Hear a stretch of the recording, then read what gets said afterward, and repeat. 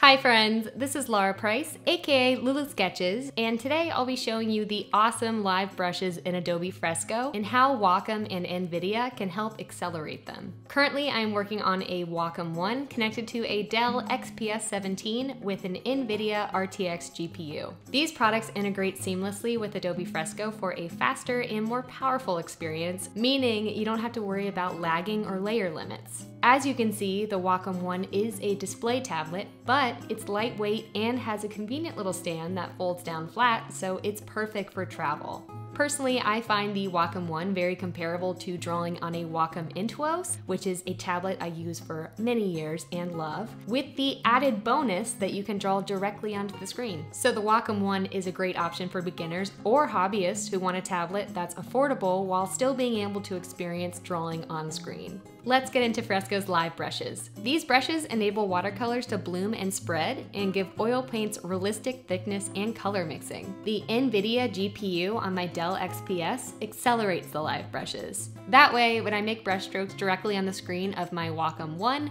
they work instantly like real paint. In other words, I don't have to worry about lagging or layer limits since more layers also require a better GPU. The Wacom One stylus is very sensitive to pressure as well as tilt, which pairs great with Fresco's new pressure curve adjustment. Click this button here in your brush settings to adjust the pin pressure of your stylus.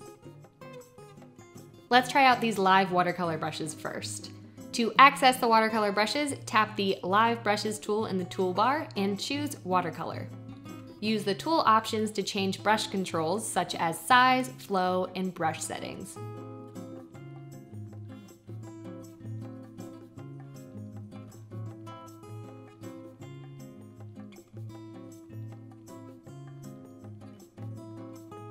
For the watercolor live brushes, you have a button with two water droplets. This is called water flow. This controls how much water is used on the brush. With a higher water flow setting, the colors will flow more on your canvas and mix more with existing paint.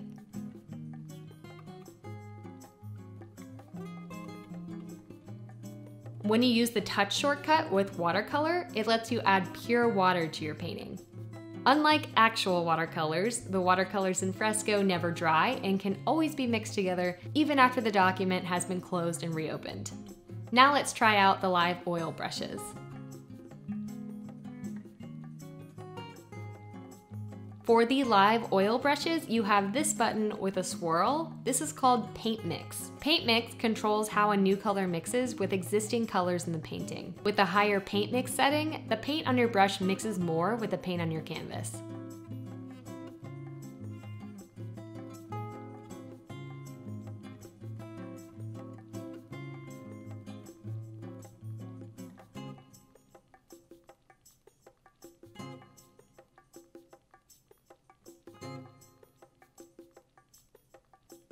When you use the touch shortcut with oils, it gives you a clean, dry brush to mix the existing paint on your canvas. Unlike actual oil paints, the oils in Fresco never dry and can always be mixed together even after the image has been closed and reopened. I hope that was helpful. Thank you to Adobe Fresco, Wacom, Dell, and NVIDIA Studio for letting me try out these products together. Using the Wacom One with the NVIDIA graphics card really helped accelerate the live brushes on Adobe Fresco so they worked instantly like real paint. Thank you guys for watching and happy painting!